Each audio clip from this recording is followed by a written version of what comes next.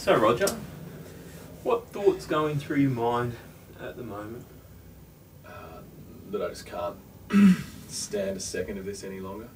Okay, I, I can't stand a second of this Yeah. any longer. Just the the turmoil Yeah. that's going on. Does that bring on any feeling or emotion for you? Mm. What, No, what comes up? Oh, it's just it's the same old tornado, uh, racing thoughts. Yeah. Um, you know, just the sweaty palms going on, just um, Okay.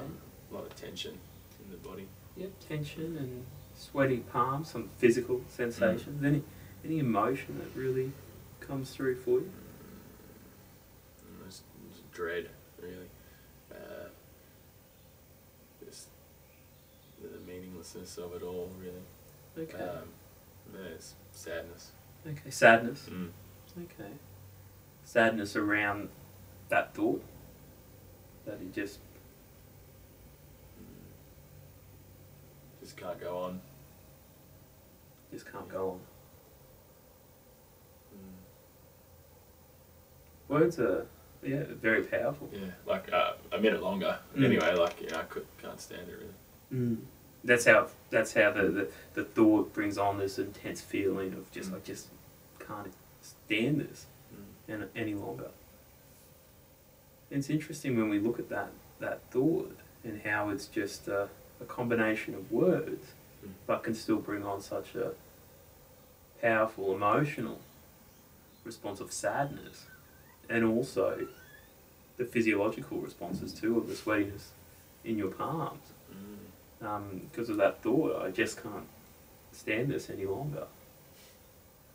What I'd, what I'd like to do is perhaps just look at that thought and perhaps, if you're willing to, to try this, is rather than look at that thought as, I just can't stand this any longer, maybe put just before it, I notice I'm having the thought. Mm. Would, would you say it again, but put, I notice I'm having the thought? Could you try that, that for me, Roger? So I notice I'm having the thought that I just can't stand this any longer. How did that feel for you? A bit interesting. Like, um, like it's a bit of distance there. Okay. It, it seemed like there was some distance. Mm. Like, um, yeah, it didn't feel as hot. Okay. Yeah. Wow. You know what I mean?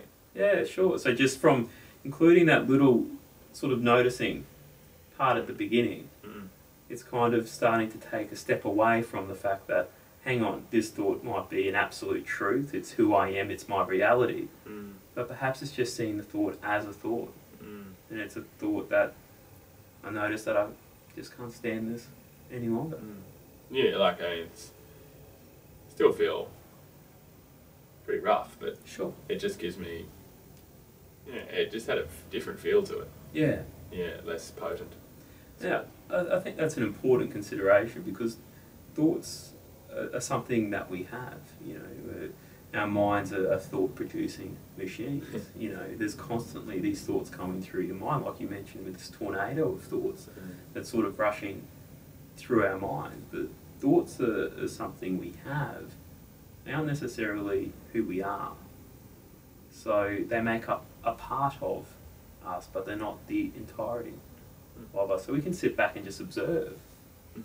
sometimes that tornado that's going on and just notice I'm having these thoughts that I just can't stand this any longer. I mean, let me put it to you this way, Roger. If we considered the words, and they're just words, and we use them in everyday life, and they help us in many different ways, help us communicate and, and build, you know, buildings and Mm. help us move from one country to the next. But if you were to swim, for example, Mm. do you think you could do that just from reading the words on how to swim? No. Yeah. Yeah. Well, what would we need to do? Um. Well, like you need to swim.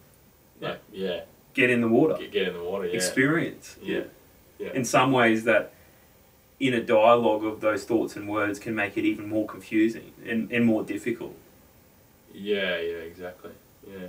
You just need to get in there and, and do it. Mm. It's like, for example, if I was to sit here and say to my myself, James, pick that pen up.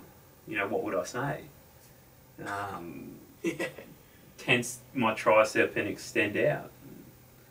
Tricep saying back to me, "How do you do that?" Well, you know, just do it. you know, it, it, it, it's pretty easy. Yeah. But it's a case of sometimes those words, as helpful as they can be, sometimes we can attach so much meaning to them that we see them as being the only thing. Mm. And sometimes it's just about creating a little bit of distance and we can see the words just as words. And then we can choose how we would like to respond to that. Yeah. Interesting.